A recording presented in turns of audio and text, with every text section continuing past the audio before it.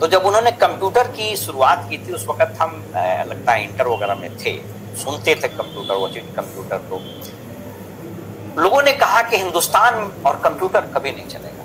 इसलिए कि यहाँ इतने लोग बेरोजगार हैं, कंप्यूटर आएगा तो बेरोजगारी और बढ़ा देगा उसको याद है कि रेलवे में, पोस्टल डिपार्टमेंट में, टेलीफोन डिपार्टमेंट में, बैंक्स में हड़ताल हो गया था कि कंप्यूटर आ जाएगा।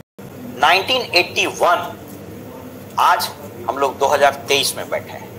आज की तारीख में दुनिया का सॉफ्टवेयर का कैपिटल इंडिया है। Yes. कितने वर्ष लगे? 20 और 20 40 बिल्कुल। So to get an idea accepted to get on a trend crystallise and institutional है it takes time direct sale business India में कितना दिखता है? मुश्किल से तेईस चौबीस साल पच्चीस साल? करेक्ट जब ये डायरेक्ट सेल और आप, याद रखिए कोई भी बिज़नेस जब आता है ना तो वो बिल्कुल ट्रेंड ऐसे चलता है। पहले वो बहुत अप जाएगा फिर नीचे जाएगा फिर अप जाएगा फिर स्टेबल हो जाएगा।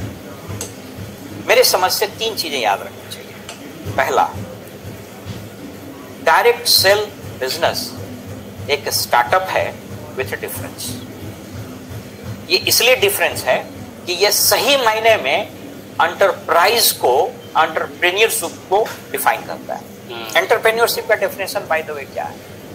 कहता है idea plus guts plus strategy plus planning plus action interestingly इसमें कैपिटल गायब है। इसलिए नहीं गायब है कि कैपिटल नहीं लगता है बल्कि इसलिए कि कैपिटल देने के लिए बहुत लोग आ जाते हैं। एंजल इन्वेस्टर्स की का एक कॉन्सेप्ट है उसको आप कभी पढ़ेंगे कि they are so many angel investors तो डायरेक्ट सेल ने क्या किया? कि ये जो इन्वेस्टमेंट वाला पार्ट था, उसको इतना मिनिमाइज कर दिया कि इसने पूरे डायरेक्ट सेल और पूरा एंटरप्रेन्योरशिप के कंसेप्ट ही बदल दिया। अब ये नए तरीके का कॉन्सेप्ट है जो इंडिया में मात्र 25 साल पहले आया। अब तो धीरे धीरे ये एक्सेप्टेबिलिटी इसकी बहुत बढ़ गई है और लोगों को ये समझ में आने लगा, बहुत सारे लोग सफल हो रहे हैं तो लोग इसको एक्सेप्ट कर रहे हैं। लेकिन मैं अपने दर्शकों को और आपके दर्शकों को मैं एक चीज़ ज़रूर बताऊँगा।